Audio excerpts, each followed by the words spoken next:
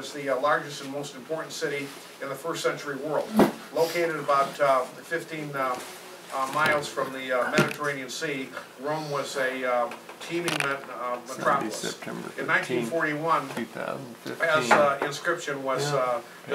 an inscription was discovered at. Ostia, O-S-T-I-A, uh, which indicated that in uh, AD 14, the city had a population of 4.1 uh, million. It is uh, possible, it is impossible to determine uh, with uh, great certainty uh, who founded the uh, church of the great me- um, metropolis. Uh, There are, however, several um, contenders for this honor who can be eliminated. First is the evidence that Paul did not establish the Roman church. Romans, okay, uh, Romans uh, 1, uh, 10, 11, 13, verses 13, uh, 10, 11, 13, 15, uh, all make uh, references to the fact that Paul had never been to Rome at the uh, writing of uh, this epistle. Uh, This obviously could not have uh, founded the, uh, so he obviously could not have founded the church there. Second Peter must be ruled out also, ruled out as well. Uh, You know, Catholics don't like hearing that. Catholics make a great example for my class, as you see. Um, He was, you know, Paul, uh, Paul never greeted him at the end of the book. And if he was the first it pope, better? okay, you would think, you would think not only would he greet him, Probably he would need greet to him first. Saturate the Okay. side of it with Uh, when- peroxide. See, and they get that because, um, uh, you know, uh, uh, Peter's, uh, yeah, uh, Paul's, yeah, Peter. Peter said he was gonna go to Babylon. Well, it really meant Babylon. It didn't mean Rome as a uh, symbolic uh, word.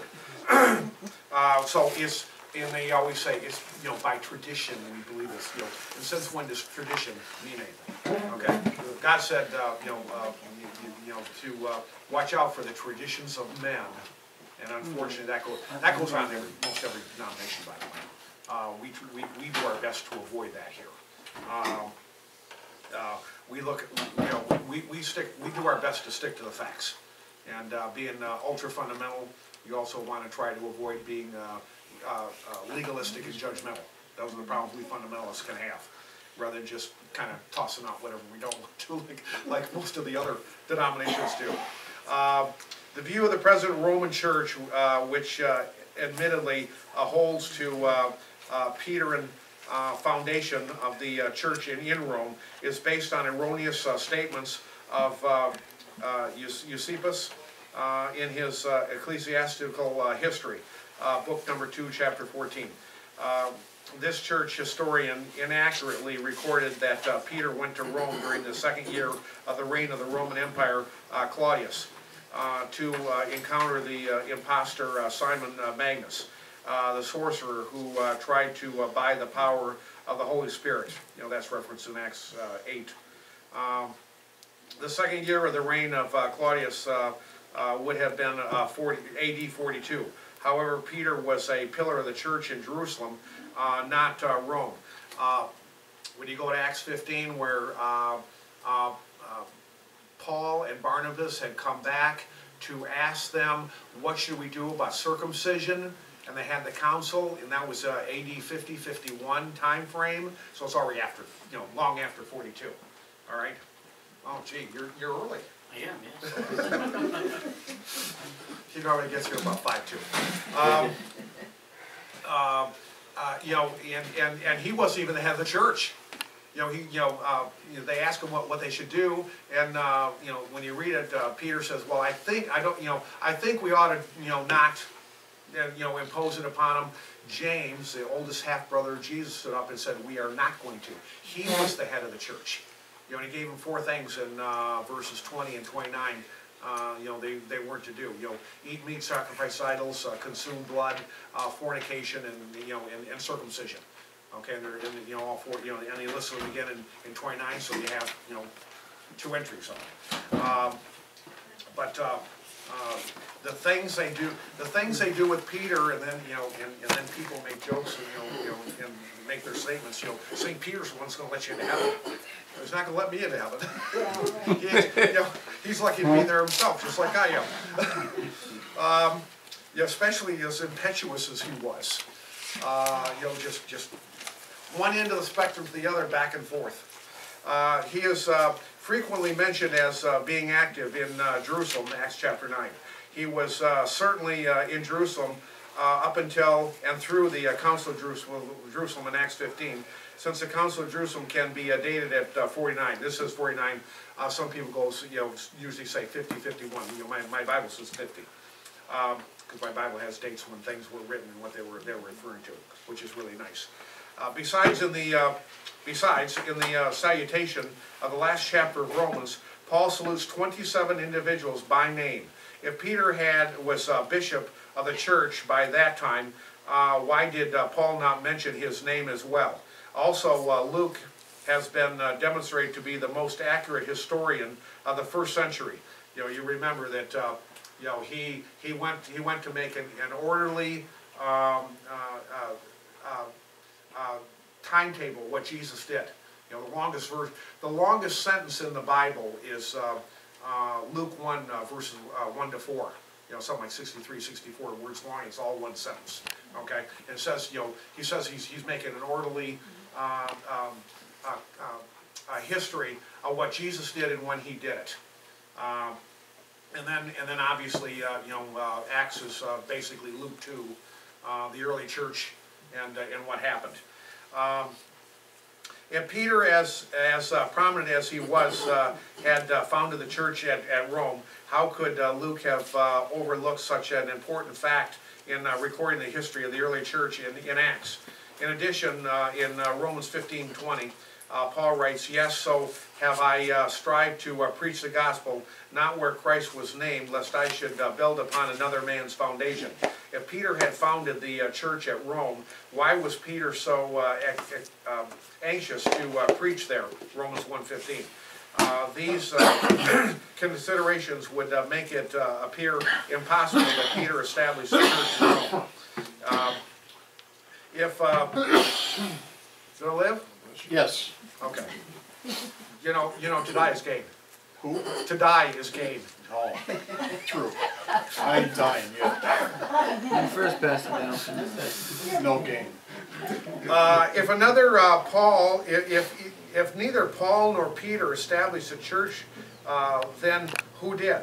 Two possibilities exist. The first arises from those uh, present at the day of Pentecost in Acts 2, uh, 9 to 11, mentioned that uh, among these in Jerusalem, on the uh, event of the day, uh, strangers from Rome, Jews, and proselytes. Uh, It is uh, quite possible that believer, believing Jews carried their new faith and the message of the gospel back to the uh, uh, imperial city and founded the church there.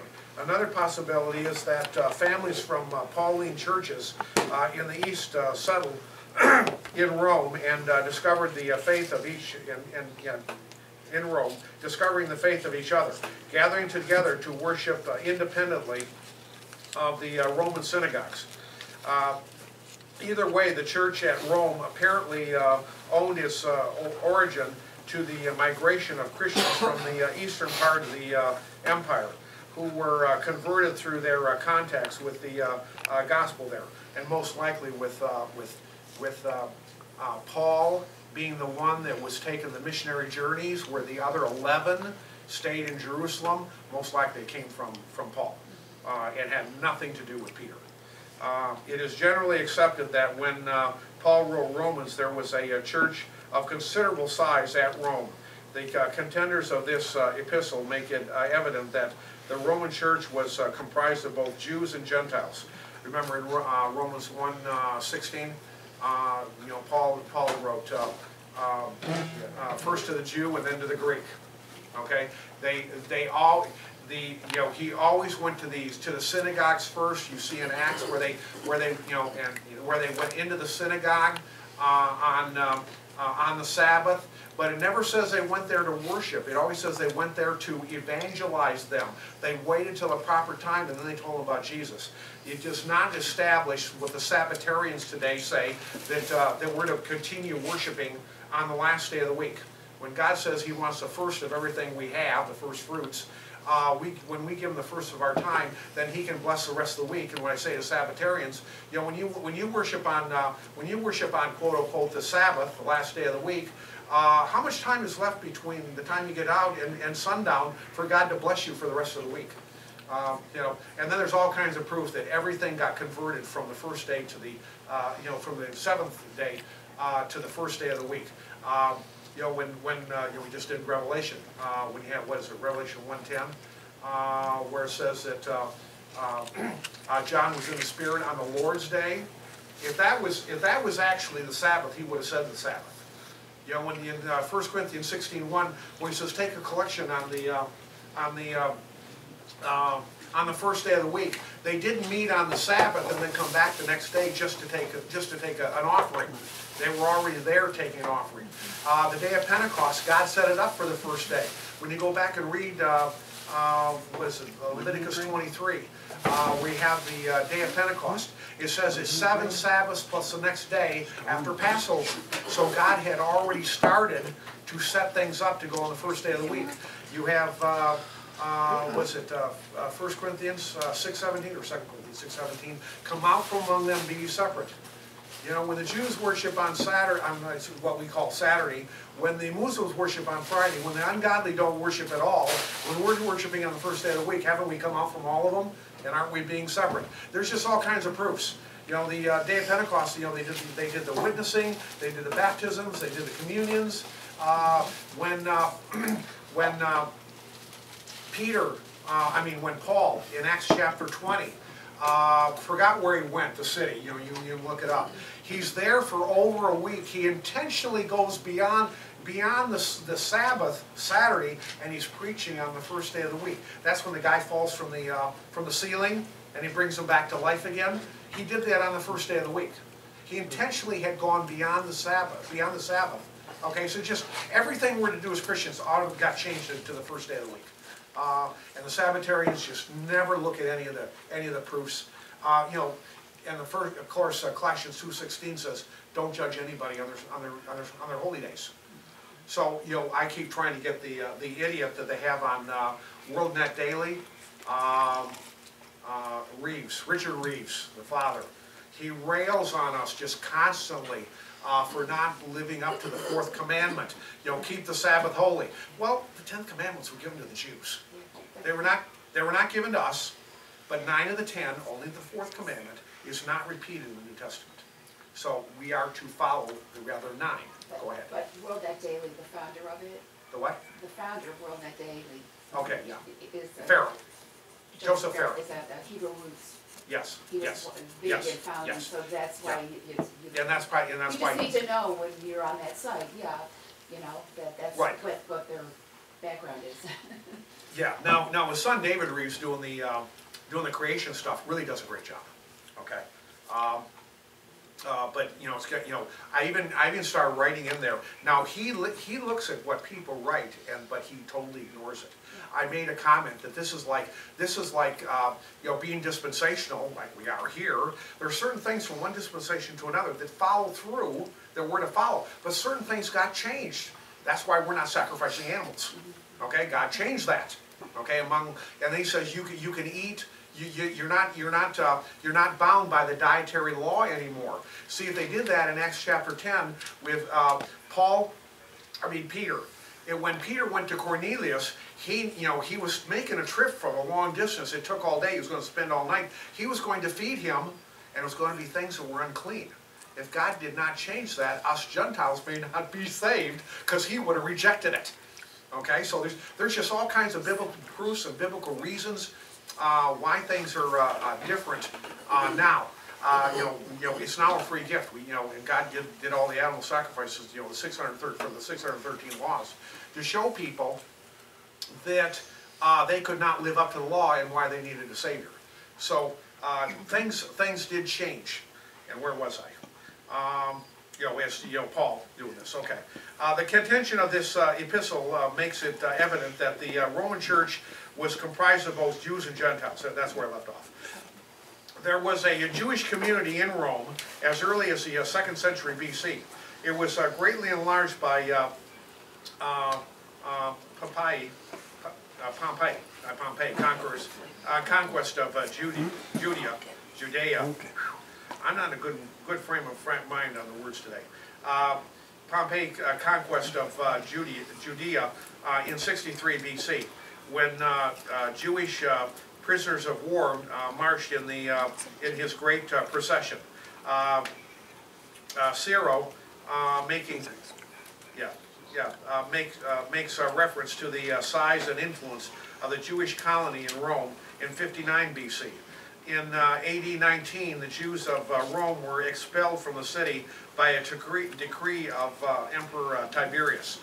Another mass explosion took place in the region of Emperor Claudius between 41, AD 41 and 54.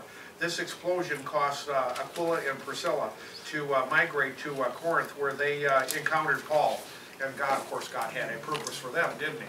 See, you know, we're all, you know, uh, they were an evangelistic uh, couple. Uh, This is where women are to be in, you know, within the church, we know that the men are supposed to stand up and be leaders. But out there in the, uh, in the world, we're all supposed to be evangelists, everybody that they go, that, that we run into. Um, But the efforts of this uh, explosion, uh, explosion order uh, were temporary. For less than uh, three years after the death of, of uh, Claudius, Paul wrote that the Jewish Christians in Rome, speaking in their faith as a matter of common knowledge, the original nucleus of the church must have been Jewish. However, the Gentile element in Roman church was uh, predominant at the time of the writing. Even though Paul addressed the uh, Jews in, uh, uh, I assume it's, you know, in Romans 4.1, that's what we have, just says 4.1. When uh, he spoke uh, of uh, Abraham as uh, our father, as uh, pertaining to the flesh. Remember, we as Gentiles have been grafted in for salvation. So Abraham becomes a stepfather, so to speak, for us. Um, But, you know, contrary to popular belief, Abraham was not a Jew. He's the father of the Jews, he's not a Jew. Because if he was a Jew, then uh, so is, uh, um, um, who's, uh, who's the father of the, uh, the Arabs? Um, Ishmael, What? Ishmael. The, yeah, the other, the other son, yeah, no, no. Ishmael. Ishmael. Uh, Ishmael, Hagar. Ishmael, Ishmael, uh, with Hagar. Also, um, you are Jewish by your mother. That's why Jesus was a Jew, because he didn't have an earthly father. Okay? So, uh, um, if, if, if he was a Jew, um, you know, then, then the whole line of, to, to some degree, the whole line of the Arabs are Jewish also, yes. Okay, so Abraham wasn't a Jew, His Bible says he was the father of the Jews. okay? Father How is- Abraham. Okay, so how did the, the Jews come to be? I mean, was it? Abraham, Isaac, and Jacob. The promise was through Isaac. Okay, so being Jewish isn't necessarily what we think it is, it's more of a promise from God. Well, it's a promise as well as a people that came from him. Ah, As the sands of the sea. Remember the sands of the sea were the Jews and the water is the Gentiles when we were doing the, uh, the end time prophecy class. To try to understand who, who we were talking about when, uh, with the symbolism. I see, You know, so, and when, when we, when we did three years, you know, three years on end time prophecy. because I know that there's a lot of Jewish people that I know that consider themselves like a separate race. Well, yeah, there, yeah, a separate race within, within the, within the Shemites. Yeah. Okay, see, the, the, the Arabs and the, and the Jews are all Shemites, okay, where, uh, um, uh, you know, the, uh, we, we come from uh, Japheth. So they're, Alright. actually, they're, they're brothers. Oh, yeah, yeah, it's a thirty-five hundred year old family feud that's going on over there. They're the stepbrothers, yes, so to speak. Um, you know, it's a thirty-five hundred year old feud over the, over the birthright. And, uh, that's, you know, the Jews have 0.16 percent of the, all the Arab land, and the Arabs are not happy, they gotta have that other 0.16 percent, okay? When in reality, back then, um, the, the history was that the firstborn son would get, uh, would get two-thirds, and any other subsequent children would get, you know, we, excuse me, get two parts, and the other subsequent children would get one part. So the first son would have a double portion. That's part of why uh, Dan is not listed in Revelation uh, 7 as one of the 12 tribes when God said that Joseph was going to get a double portion. Manasseh, his firstborn son, is listed to give him the double portion. Now, you know, Dan kind of kind of went off the went off the trail when you when you read uh, you know the uh, uh, my end time prophecy uh, stuff. You know, I got inf- information in there. So possible reasons why he was gone. They intermarried and kind of, and some went to Europe. They you know, it- you know well there's there's there's there's two uh, um, two uh, best guesses.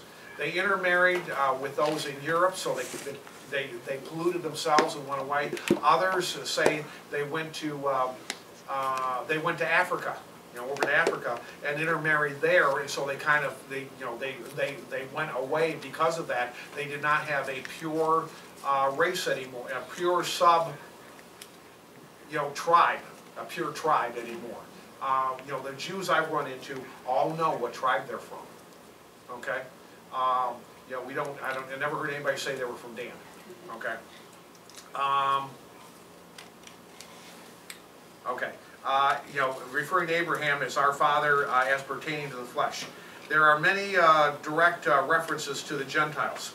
In this uh, introduction, Paul speaks of the obedience uh, to the faith among all nations in Romans 1:5.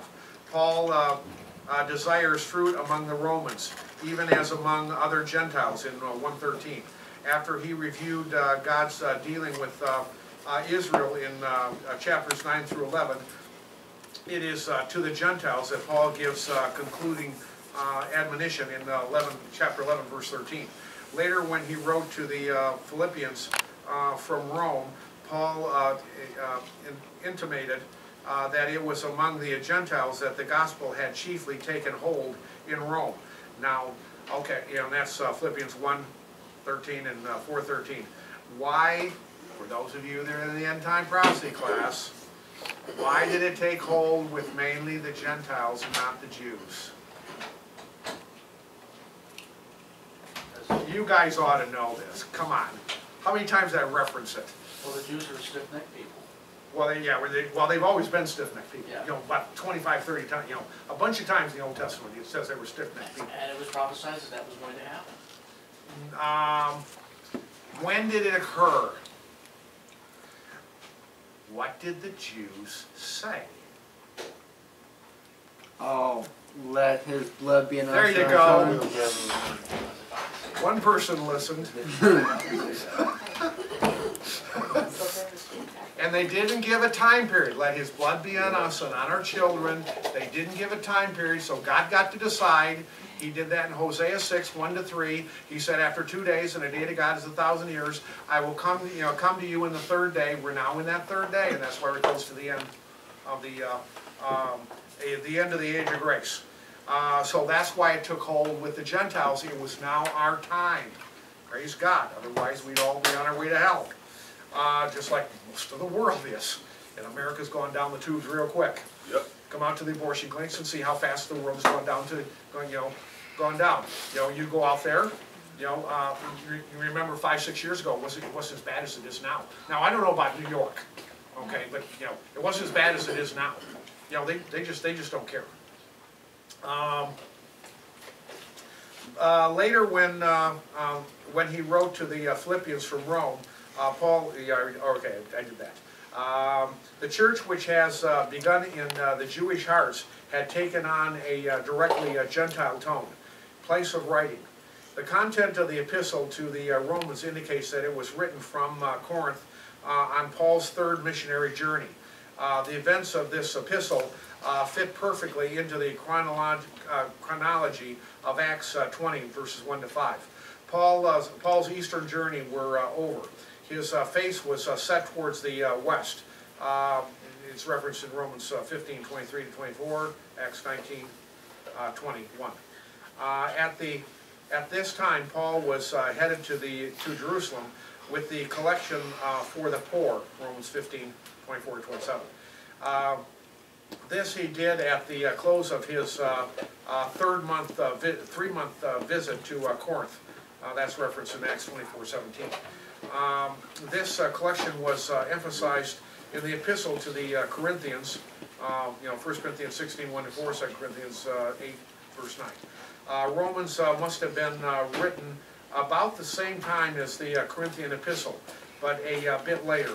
When he wrote the, when he wrote the epistle, Paul mentioned that, that with him were Timothy, Gaius, you know, a- you know, a bunch of names. You know, I'm terrible on names, I'm not saying them.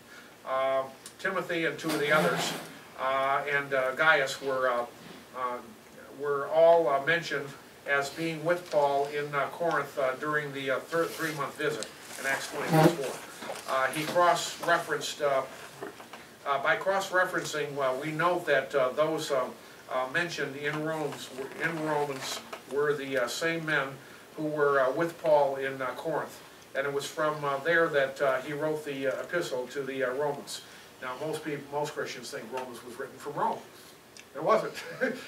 And we know it wasn't because he said greet all the people there, so, you know, he couldn't, he couldn't, you know, he could have greeted himself if he was, if he was actually there. Um, Date of writing. It is, it is possible to pinpoint the date of writing even further than uh, simply Paul's third month uh, stay, third month, uh, three-month stay in uh, Corinth. The uh, absence of uh, uh, defense uh, tactics by uh, Paul and the uh, tranquil tone of the epistle suggests that it was written toward the end of his stay in Corinth, after the trouble in Corinth had been uh, quieted. Since all navigation on the uh, uh, on the uh, Mediterranean uh, ceased between the middle of November and the middle of March, you know, because it's winter and high seas and, you know, trouble. Ha- Hardly had been uh, made uh, before the uh, spring. Thus, it is likely that the uh, date of the Roman epistle was in the spring of uh, AD 57, although estimates range uh, from, uh, from uh, 56 through 58. Possible, uh, purpose of the writing. During the decades of uh, 47 through uh, 57, Paul had uh, spent uh, most of his time um, intensely evangelizing the territories which uh, bordered the uh, Aegean Sea and planted churches throughout Asia Minor and Greece. Asia Minor is uh, today's Turkey, and look how far they've gone away. They're now, uh, you know, people always wondered, Turkey's one, Israel's one of Israel's best friends. You know, how can they turn on them? And in the last five, the last three years, four years, what have we seen? A complete turning. So when Ezekiel thirty and thirty-nine occurred, Togarmah, that's Turkey, all right? And, uh, uh, some say uh, Gomer is also, although some say Gomer is really the original name of Germany, so it could be either or. We'll find out when it occurs, early in the tribulation period, not the uh, Battle of Armageddon. It's not the Battle of Armageddon. Uh, his uh, Easter campaign was now concluded, but his task was by no means completed. During the winter of AD 56-57, uh, which is spent at the house of his Corinthian uh, friend uh, Gaius, uh, he apparently looked uh, toward, uh, forward to an uh, immediate journey to Jerusalem, where he hoped to, the gift he bore for the Gentile church to the poor Jewish saints at Jerusalem would help, would help sa- salve, you know, uh, save, yes, the, put, put salve on the wounds uh, of the uh, controversy and uh, strengthen the uh, bonds between the uh, mother church and the uh, churches of the Gentiles. Once uh, this mission was completed, Paul could continue his dream and labor where no man had labored and built where no man had built. His choice was Spain, um, the oldest Roman colony in the West. But a uh, journey to Spain would afford opportunities uh, to realize another lifelong ambition to visit Rome and spend some time with the believers there. The purpose of his epistle uh, uh, to those uh, Roman believers was to uh, follow, number one, to, enlist the incorporation and support of the church at Rome for the inaugural of his missionary campaign in the West. Paul uh, realized the uh, strategy and uh, political importance of this uh, city. He needed to assist, uh, uh, he needed the assistance of the believers of Rome to launch them into missionary activity in the West, as the church at Antioch had done in the East. Um, Notice something, uh, at the end, when she, just before Jesus rose and, and, and went into heaven, at the end, of, you know, last uh, three verses of uh, Matthew twenty-eight, uh, eighteen, twenty, the Great Commission, go into all the world and preach the gospel. What did the other eleven apostles do? They stayed, they stayed in Jerusalem. God had to go get a twelfth to go, to do the evangelism that he commanded them to do. Yes, I, I have a question, and that is. I'm, I'm surprised you haven't had fifteen of them so far. Apparently. You know, seeing how, seeing how my other question answer, asker isn't here today. Uh, okay, so Paul was at, quite possibly at the crucifixion. Uh, we don't know if he was there or not. He persecuted the Jews, that's when he was Saul, remember that? Yeah. He held the garments of those who stoned Stephen. And then he was on his way to Damascus in Acts chapter nine, when Jesus blinded him physically so he could see spiritually. Okay. You know, who are you? And he says, who are you, Lord?